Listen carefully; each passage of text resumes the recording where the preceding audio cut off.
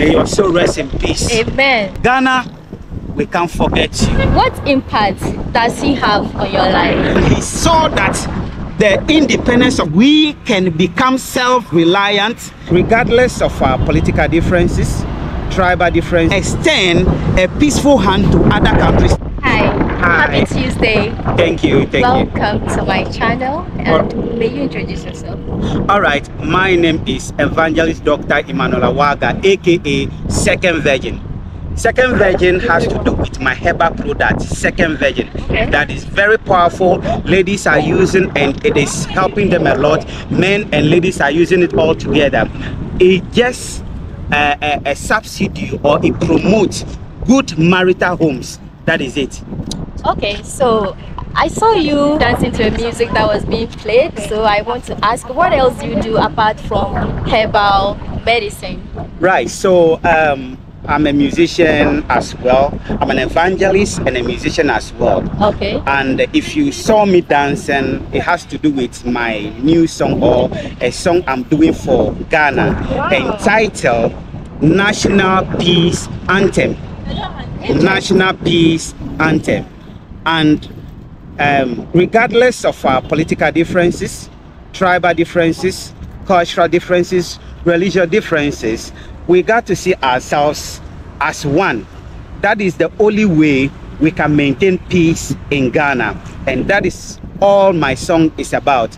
And especially, we are in an election year, and Ghana, peace is very much important to us. And I said that the peace of Ghana is meaningless unless it is even extended to the entire continent of Africa and the world at large. Wow. Let us promote peace wherever you are. Wow, very interesting. Yeah, you said it all for yourself. Given that the time we are in right now is getting closer to elections, and I feel like this song talking about peace is very pertinent to our elections. And I want to ask, apart from politics, what actually inspired the theme of the song?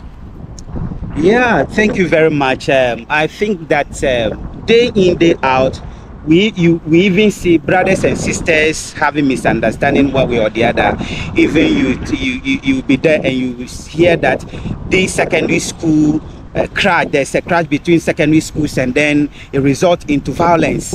And I think that violence shouldn't be part of our culture or our day in day out living.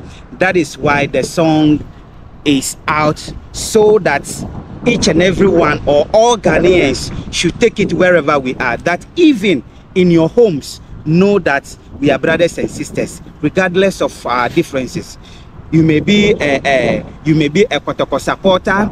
I'm a Hope. It doesn't mean we are enemies. Yeah. You are NDC. You I'm an MPP. We are not enemies.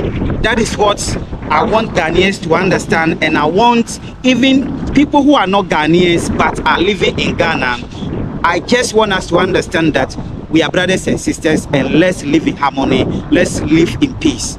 Thank you. Okay, thank you too. How how far do you think do you see this song going? As far as peace is concerned, you know, God is peace. Okay.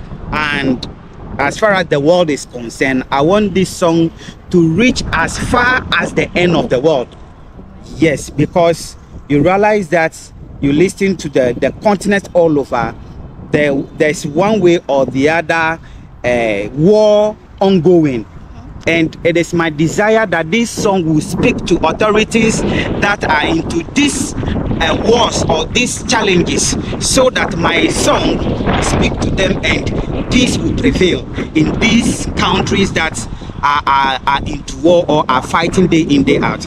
Because if we see ourselves as brothers and sisters i don't think there will be any need for us killing one another thank you very much You are welcome. I was listening to the song when you were dancing, and I heard you mention Dr. Kwame Nkrumah and some of his quotes. yes What impact does he have on your life? frankly speaking, I would want to say the foundation Dr. Kwame Nkrumah has laid for Ghana. I wish, I wish the, the those who have succeeded him have done their best, and it is our turn. We- are doing our best, but I think we can do better. So to do better is one, we must be in peace. 2 peace call for development. It is when we have peace that we can develop. So I want us to understand that Dr. Kwame Nkrumah is also a man of peace, and he saw that the independence of our nation, Ghana, is meaningless until it is extended to the entire continent of Africa. But I say that the peace of Ghana as well is meaningless unless it is extended to the entire continent of Africa and the world at large. I think this is the only way that we can become self-reliant, self-developed, and then extend a peaceful hand to other countries as well.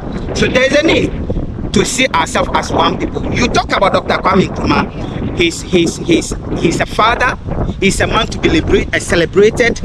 And I'm not saying it, he's a man to be celebrated. He's a celebrity. Wherever he so is, Papa, may your soul rest in peace. Amen. Because Ghana, we can't forget you. You have done a lot. You have done a lot. You have done a lot. Of course. Ghana can never forget you. Not even Africa. Africa cannot forget you. And I know your contribution towards Ghana, Africa, and the world at large can is never forgettable. We are grateful. May you also rest in peace, Dr. Kwame Nkrumah. I'm really impressed. I'm impressed. Talking about Dr. Kwame Nkrumah in Africa, when you read about the history of Kwame Nkrumah, at a point in time, he traveled from Ghana to Burkina Faso Yes. just to extend the peace that he was fighting for so he can extend beyond Africa, like you're rightly saying. Yeah. Yeah, and he also talked about neo-colonialism Yes. as well. Yeah. Now, looking at our country now and other countries in Africa in general, sometimes borrowing from other countries and all these foreign leaders subjecting us to poverty and policies that do not help us. What do you have to tell our leaders about that? Yes, as a peace promoter, one, I want us to look at ourselves. That Ghana, we have all it takes to, to, to support ourselves, to finance ourselves. Africa, we have all it takes. So I want to say emphatically that it is not the white man that is not helping or supporting us in Africa. It is we Africans that are supporting the white man Yeah. outside over there. Because the resources we have here, it is what is extracted to, to develop their world. So it is one thing to know that we are capable. Africa, we are capable. That is one. We are capable of managing our own affairs. And it is something that all African leaders or African youth must rise up for. I have a song. Soon and very soon, that song will also come out that African youth rise up. It is time for we African youth to rise up and realize that we have all it takes to manage our own country, our own continent, and be self reliant. So, going outside to borrow, um, it is not, it is a bad idea to say because if Ghana should be a human being, if Ghana is to be a human being, 63 or 65 years of age, to go outside and pres- present our budget to the white man that this is what we have prepared and we need money to that effect, it will mean that Ah, Okay. Okay. Okay. Thank you. So, Ghana, we are capable of developing our own country, and that is what Ghanaian youths we have to stand for, we have to rise up for, we have to do everything possible to develop our nation, not depending on any other country. Thank you very much. thank you, thank you. Since they are stopping us, Yes, But I yes. just want you to, you know, give a word of advice to, you know, there are other West African countries like Burkina Faso, Mali, and Niger, all going through an effort to stop the white man from taking advantage of their resources. What word of encouragement would you give to them? Yes, I think that uh, our colleagues or our friends, uh, Burkina Faso, Mali, Mali, Niger. Niger, uh, Gudus, Gudus.